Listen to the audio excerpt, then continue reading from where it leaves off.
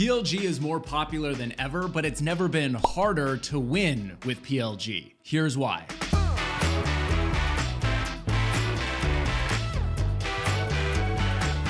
Five to 10 years ago, PLG was novel and different relative to the status quo. All the incumbents and competitors in your category were sales led. So when you launched an easy to use self service product with consumer like design that lets me get started right now for free without talking to sales, boom, all the users flock to that product. Think of Zoom in the early days. Everyone migrated to Zoom over the older sales led incumbents like WebEx and GoToMeeting. And in just a few short years, Zoom then became the incumbent, which means the incumbent is now PLG. And guess what? All of the other startups launching new products to compete with Zoom, they're also PLG. And this is happening across categories. Dropbox is a PLG incumbent, Twilio is a PLG incumbent, Datadog, Snowflake, HubSpot, DocuSign. It's pretty obvious why it's harder to win with PLG today because everyone is PLG now. It's no longer a differentiator on its own, it's now table stakes. Well, that does it for today on the PLG 123. Make sure to subscribe for more videos featuring VC perspectives on today's top stories.